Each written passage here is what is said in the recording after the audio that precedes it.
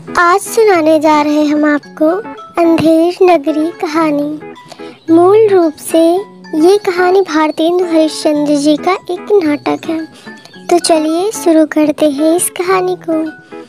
अंधेर नगरी चौपट राजा। बहुत समय पहले की बात है। कोशी नदी के किनारे एक संत अपने शिष्य के साथ कुटिया बनाकर रहते थे।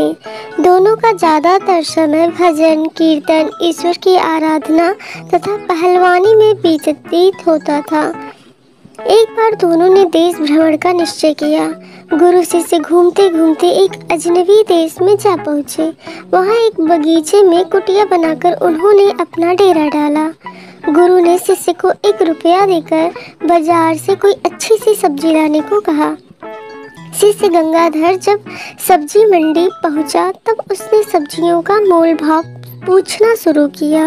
उसे यह देखकर काफ़ी आश्चर्य हुआ कि वहाँ प्राय सभी वस्तुएँ एक रुपये शेर के भाव से बिक रही थी। सब्ज़ी क्या दूध दही एवं मिष्ठान वगैरह का एक ही भाव था। उसने सोचा कि सब्ज़ी रोटी तो रोज़ ग्रहण करते ही हैं। क्यों ना आज एक सिर मिठाई ही खरीद ली जाए। सो उसने सब्जियों के बदले एक सिर अच्छी सी मिठाई खरीद ली। मिठाई लेकर वह खुशी खुशी अपनी कुटिया पर पहुँचा। उसने गुरुजी को सारी बातें बतलाई। गुरुजी ध्यान मग्न होकर बोले, बेटा गंगाधर, जितना सीख लो हमें यह स्थान त्याग देना चाहिए। यह अंधेर नगरी है लगता है। यहाँ का राजा महाचौपट है और मूर्खाधिराज है। कभी भी हमारे प्राणों पर संकट आ सकता है। परंतु शिष्य को यह सुझाव बिल्कुल पसंद नहीं आया। वह गुरुजी से बोला, गुरुजी, मुझे तो यह स्थान बहुत भाग गया है। यदि आपका आदेश हो तो कुछ दिन रह लूँ।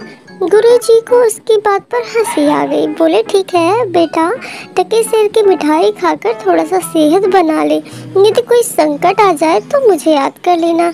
यह कहकर उन्होंने स्थान त्याग दिया। गंगाधर रोज नगर में भिक्षाटन को निकलता और जो एक दो रुपया प्राप्त होता, उसकी अच्छी सी मिठाई खरीद कर उसका सेवन करता। इसी प्रकार कई माह गुजर गए। खा पी कर वह काफ़ी मोटा तगड़ा हो गया था। एक ऐसे ही दिन बीतते गए। एक दिन एक फरियादी राजा के दरबार में पहुँचा। उसने राजा से कहा, महाराज, मेरी बकरी दीवार के नीचे दबकर मर गई। आप न्याय कीजिए। तो राजा ने कहा, बकरी कैसे दबकर मर गई? तो उसने कहा, कल्लू बनिए की दीवार से। तो राजा ने मंत्रियों को आदेश दिया कि कल्लू बनियों को बुलाया जाए। कल्लू बनिया आया। उसने राजा से कहा कि, महाराज, मैंने दीवार नहीं गिराई। दीवार कुछ दिन पहले दीवार बनाई गई थी और मुझे लगता है कि दीवार में चूने वाले ने चूना ज़्यादा कर दिया, इसीलिए दीवार गिर गई। अब चूने वाले को बुलाया गया। राजा ने चूने वाले से कहा, क्यों भाई चूने वाले? दीवार कैसे गिर गई?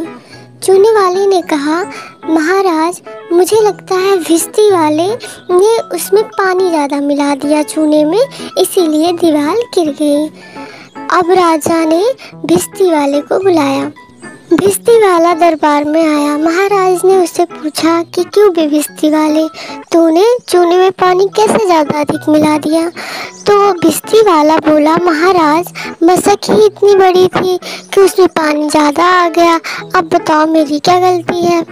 राजा ने कहा हाँ बात तो सही है। तो क्या करे? तो कहा कि जो है अब उसको बुलाइए जिसने मशक बनाई। अब मशक बनाने वाले को बुलाया गया। मशक बनाने वाला दरबार में आया और उससे पूछा गया कि क्यों?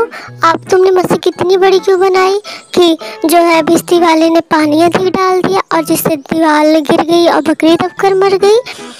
मसक वाले ने कहा, महाराज, मेरी इसमें कोई गलती नहीं है। बगल से कोतवाल जी जा रहे थे और मुझे उन्हें देखकर मैं हड़बड़ा गया और पामसक इतनी ज़्यादा अधिक बड़ी बन गई। इसमें मेरी तो कोई गलती नहीं, कोतवाल की गलती है। अब राजा ने कोतवाल को पकड़ा। अब कोतवाल ने कहा कि क्यों किसी और का नाम लिया जाए? तो वो खुद ही सज़ा को कबूल कर गया और उसने उसके बाद राजा ने उसे कोतवाल को फांसी का हुक्म दे दिया। अब फांसी के फंदे तक कोतवाल को लाया गया। लेकिन कोतवाल काफ़ी दुबला पतला व्यक्ति था। फांसी का फंदा उसके गले में काफ़ी ढीला पड़ रहा था।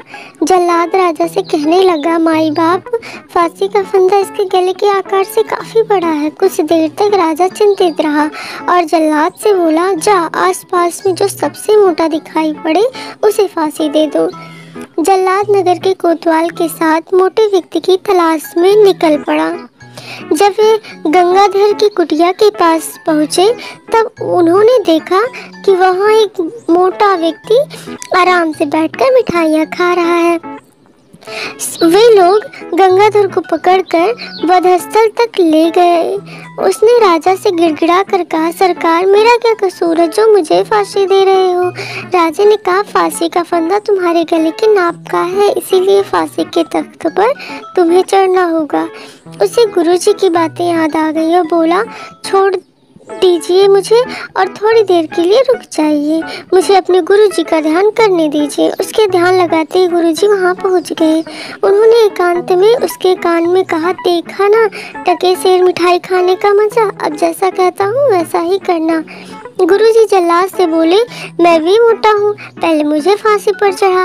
उधर गंगाधर जल्लाद का हाथ खींचते हुए बोले, नहीं नहीं, पहले मुझे फांसी दे दो।